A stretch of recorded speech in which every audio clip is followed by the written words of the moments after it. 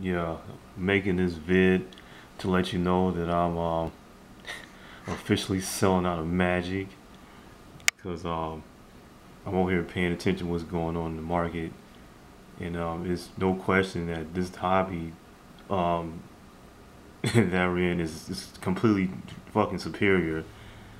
Um, you know, if you don't have any like the Power 9 or the cars that really matter from those older vintage sets, you kind of like waste your time because I'm, I'm seeing the comparisons and this is actually funny. It's not even really worth, not even really um, funny to laugh how the, the um, how drastic one market is compared to the other one, making the other one look, look upside down. But yeah, I've been I got like um, some very you know, um, I don't have the big shit. I don't, I'm gonna admit, you know, I don't, like my little position I had in um some of the cars I was having. Like I'm over here watching. Like I had an OG um, Liliana from Innistrad.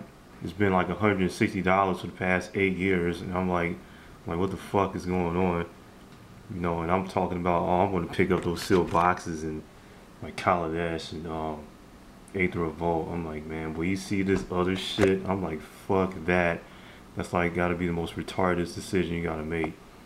You know, um, and I was watching the video. It was like even this one dude, he had a he um he's been collecting for a while. He, he did a comparison. Like he, he put like Urza Saga up against Team Rocket when he bought them, and one is is going up in value three times faster than the other one, at least two times faster. You know, like um so what's what's the fucking point?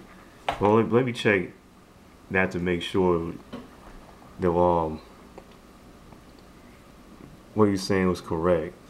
Cause he had the info. Okay, that's a one box going for three three grand. But I'm like, some of this product is just so old, uh, and you expect expect them to see um see on fetch certain numbers. Are you kidding me? Wait a minute. Well, this this is a joke, right? Nine grand for a first edition Team Rocket box. And what, what, what? Oh, do you see this shit? This this is a fucking joke. Like, like why the fuck would I sell Flashfire for? Like, this shit, this shit is it's it's embarrassing. Like to anybody that's like who's in that hobby, you know, I, I can't.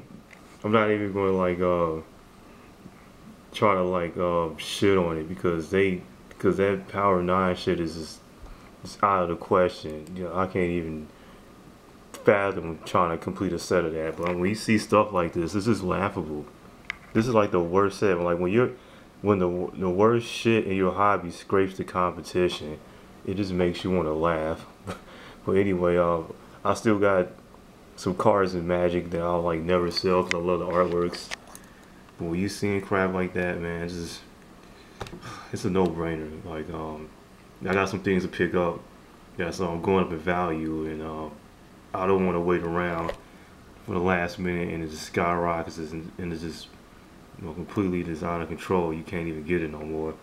I got a list I need to check off, and um, I'm gonna get back to the uploading another video. I got a package coming from fucking Canada, and because this, this nonsense is going on, Did not update updating any of the information, so I don't know when I'm gonna get it. And it's supposed to be, it's, it's a notable part of the collection, but uh, I'll, I'll get back to you later on that. Anybody out out there still in YouTube land watching these videos, well, um, just just for the hell of it. But yeah, let me know what you think about this shitty market. Uh, yeah, I, I need to get them get them get them um, moving on my ass before these these prices go up. But yeah, um, yeah thanks.